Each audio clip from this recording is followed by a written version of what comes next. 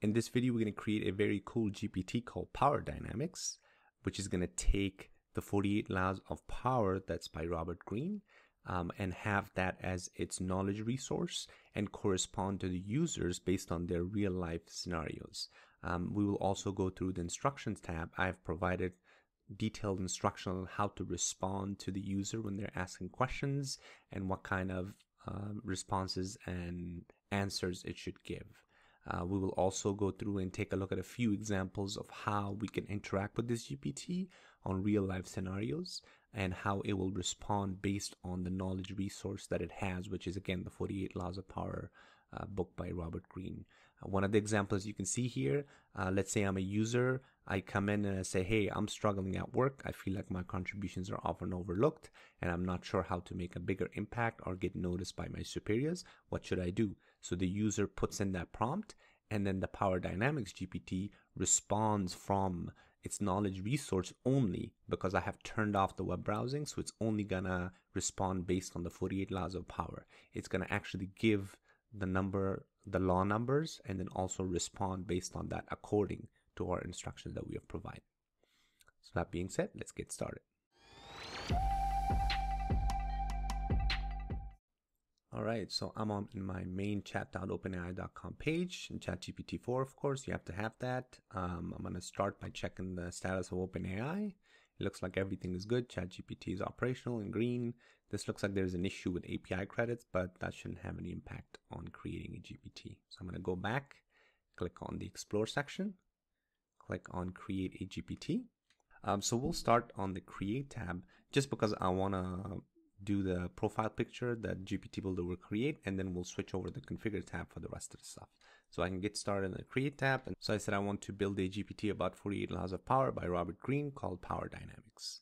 So now it should update the name of this GPT to Power Dynamics, and then we'll go ahead and create the profile picture and then move on to the configure tab for the rest of this because again this is going to be very custom. We'll provide our own custom instructions and then also add the pdf resource as uh, a guide for it to answer to the users. Okay there you go. That's actually a pretty cool profile picture so i'll keep that. So now we can just switch to the configure tab actually. So here we'll just name the gpt called power dynamics Alright, so the description is said advice on real life power dynamics based on the book 48 Laws of Power by Robert Greene. So that should be good enough. Um, let's go ahead into the instruction sections and we will get rid of this and start our instructions. Um, so what I'm going to do is the first one, I'm going to set um, the, kind of the interactive initial engagement stage. Uh, so this is where we'll um, go through the first step of asking the user about the specific use case or the specific uh, needs that they have. And then based on that, we can move forward to the analysis and uh, figuring out the best solution and providing the best response based on the 48 laws of power book that will attach to this particular GPT. Okay, so the initial engagement, we're going to say start by guiding the users who are uncertain about their specific needs. Um, so the, the whole point of this initial engagement was to, for GPT to get an understanding of what the user is looking for, right? So that's why we're telling the model should prompt with simple direct question to understand their current life situation. So if the user already has a question that they know and they're just going to come in and type and get a response, that's going to be the easier part, right?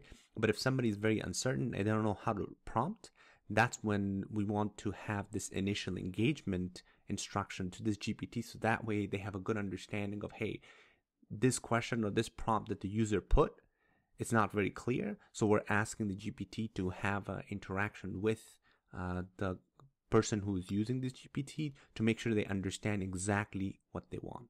Um, this is very powerful because obviously with any large language model, the better the prompt, the better the response. So in this section, we are already kind of asking the GPT to, hey, get a better understanding of what the user is looking for, and then you can respond, right? So that's why we're saying that the questions could, should focus on understanding the user's goals, challenging challenges they're facing, and the nature of the interaction with others. Um, so again, this uh, we're saying that the probing will help the model to identify the relevant laws from the 48 laws of power. So we, when they get this initial interaction interaction with the user, the GPT will then understand, okay, so this is what the user is looking for, and then it's going to go back to its resource, which is going to be the 48 Laws of Power, the book that we'll attach. And then based on that, it will provide the proper responses. And obviously at the end, I wrote this step is essential for extracting the core issue because then from for the next steps, this will kind of act as the guide um, and provide the proper responses. So that's the first step. So the second one, we're gonna understand, we're gonna um, give an instruction to the GPT uh, that goes through and understands the in-depth uh, examination of what the user puts, and then based on that goes through and, and analyzes everything. Okay, so the second of instruction that we're given it is called we're just naming it in-depth law examination. And again this is not necessary but the reason why i do this so that way for my own sake if i want to come back later on and change something then i understand that okay in this particular section i want to change the instructions so that way they um, the GPT could respond better. So that's why I either put like step one, step two, A, B, C, or just have like a little title in front of it. So that way it's a lot easier for me to come back and edit it. Anyway, so the second step here, we're saying in-depth law examination. Um, so we're telling the GPT that once you receive the query, go ahead and analyze uh, the relevant laws from the Greene's book that we're going to attach to it and dissect the key strategies, the psychological insights that Robert Greene presents, and then based on that, really understand the applicable law that might apply to this. And then for the next steps, we can actually go ahead and tell it to provide the advice after thoroughly uh, analyzing this particular prompt. Okay, so strategic advice formulation. So now, based on the analysis of the previous step here, we're going to tell the GPT to develop a strategic advice that aligns with the laws in question. So now that they, it has gone through and understood which laws are applicable to this particular situation that the user is asking for, we're going to tell it to now go ahead and develop a strategic advice that should be practical, um, that will reflect the strategic depth of Greene's work and providing the user an actionable insights. So now it's going to go ahead and concentrate on offering guidance to the user based on understanding of the power dynamics and uh, strategic maneuvering by uh, Robert Greene's 48 Laws of Power. Okay, so the fourth instruction that we're giving it, um, I'm titling it Offering Diverse Strategic Options. So we're going to tell it to present a range of strategic options based on different interpretation of the laws. So now that it has gone through analyzed everything, it has gone through and interact with the users, it has come up with the strategic advice based on the law that aligns with the question.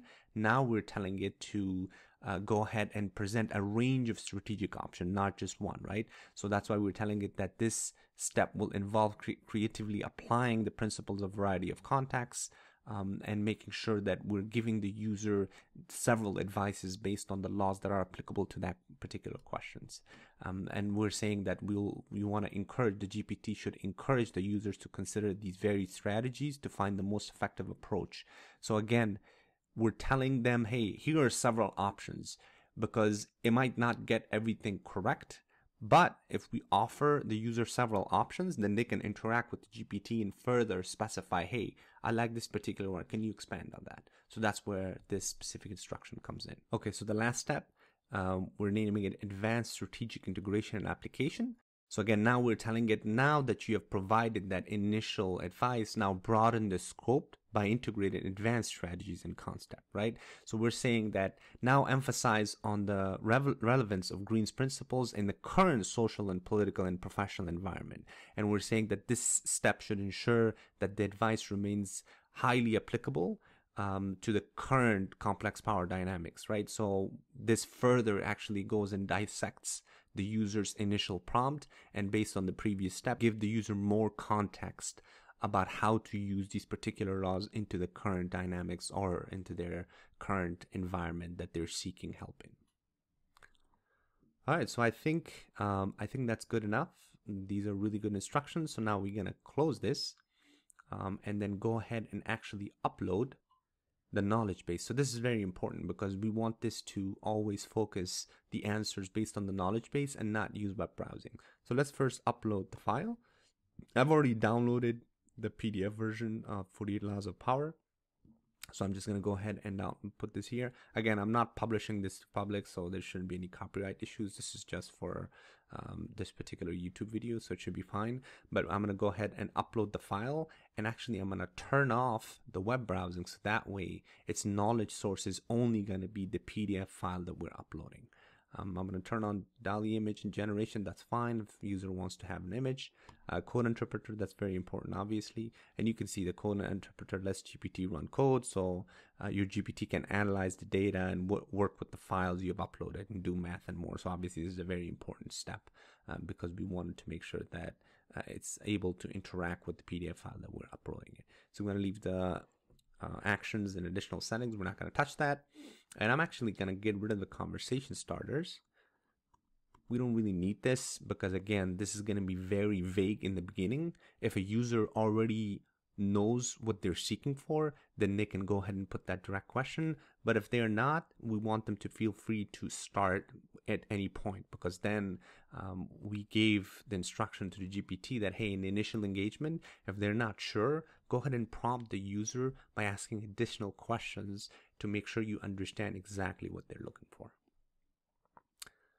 So I think this looks good. So this is basically all we need. So I'm going to go ahead and save this. Publish to me. Okay, so let's test this out. I'm actually to type a very specific question and I'm to make sure that the prompt is done very well. So that way we can test out and see how the Power Dynamics GPT responds. And then we're to go ahead and try another uh, question, which is very vague. It's going to be somebody who's not sure about what they want. We're just going to get started with that. I'm struggling at work. I feel like my contributions are often overlooked and I'm not sure how to make a bigger impact or get noticed by my superiors. What should I do? The prompt is very specific. The user's identifying exactly what they're going through. So now the GPT, the Power Dynamic GPT should respond based on the laws um, from the 48 Laws of Power by uh, Robert Greene, the book that we uploaded, right? So let's go ahead and press enter. So it's searching through its knowledge. Now this knowledge again is going to be the book because again, we turned off the web browsing. So it should only focus on the book and present as an answer or a response based on the 48 laws of power. And it should actually spit out the exact number of the law because that's what we told it in our instructions. So there you go. It provided actually a very detailed response. So it says in your situation where you feel contribution at work are being overlooked, it might be beneficial to consider law 6 from the 48 laws of power. And as you can see, it's referring to the exact law and it's actually giving the title. And it's also going to give you further contacts and strategies because again that's exactly what we told it right? We said that it, it needs to have a strategic advice formulation. So it's kind of it, it's it's listening to that step and it's providing the context and it's saying follow these strategies in order for you to achieve what this law actually says. So it's actually better than the book, in my opinion, that you would read because now this is actually giving you step by step guide on how you can apply that law to your particular situation. So as you can see, it's giving you the standout visually. So make sure your appearance is professional and polished. It gives you the second step, communication, take initiative. All of this, again, he's providing this based on or gpt is providing this based on the 48 laws of power but it's going through and actually analyzing the book in much more details because of the instructions that we provided. So now let's go ahead and try and maybe give it something very vague not as specific as this particular situation right? Yeah so in this one let's try and be a bit more vague. So i'm going to try like a social situation right? So i'm going to say um, let's say I am too agreeable. So now, again, very simple. The prompt is not that extensive. Let's go ahead and try this to see how it's going to guide us and make the prompt better. On top of that, how it's going to respond. Okay, great. So now as you can see, it didn't provide a response because now it wants to make sure it understands the context, the goals, the challenges, and the impacts. And then based on that, it will actually provide a very strategic advice based on the 48 laws of power. So instead of responding, just like we told it to in the initial stage here is like start by guiding the user who are uncertain about their specific needs, right? So the model, the GPT is going to prompt with simple direct question to understand their current life situation, which is exactly what it's doing, right? So it's saying, okay, could you please describe a recent situation where you felt you were agreeable? Understanding the specific context will help in applying the most relevant principle from 48 laws of power. Um, and it wants to understand your goals and challenges and also understands how is this being agreeable impacting you right? So it's doing further probing to make sure it understands properly and exactly what you're looking for and then based on that it will give you that uh, analysis and advice and then also the specific law that robert greene is referring to. So you guys can play around with this. This is very cool um, again, I'll put the description on the video so that way you can use this not just for this book but for any book, right? But this is a great example of how you can use a GPT for your real life situation. Hope you found this video helpful. Thanks for watching.